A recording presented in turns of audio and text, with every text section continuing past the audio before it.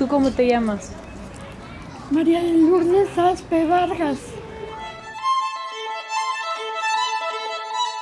Tú eres el más importante en mi vida cuando éramos seis y los seis éramos ese más importante en su vida. Mi papá siempre dijo fuerte y querido que él no quería tener seis hijos. Y mi mamá decía fuerte y querido, yo quería seis. Que cuando se divorció de mi papá, mi papá le dijo, pues a ver qué haces con tus seis hijos. Y mi mamá dijo, pues me vale gorro. A ver cómo le hago con mis seis hijos. Y de pronto decide dejar todo atrás y ser la mujer más chingona de la época.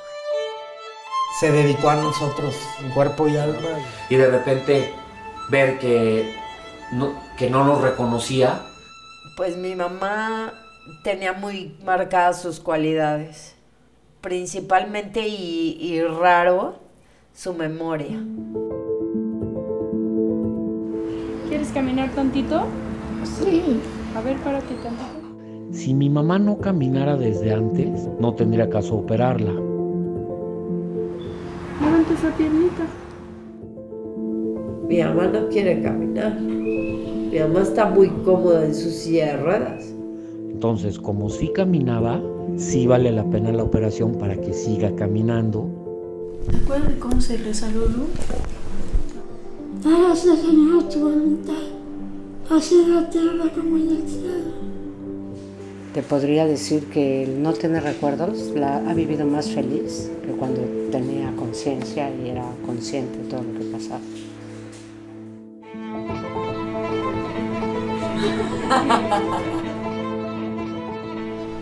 Espérame aquí. Ay, ay, ay. Oye, ¿cómo se llama tu mamá? Mami. Mami. Todos teníamos problemas y a cada uno le daba su tiempito, platicaba con él y lo trataba de orientar. Siempre estuvo ahí. Lárgate de aquí.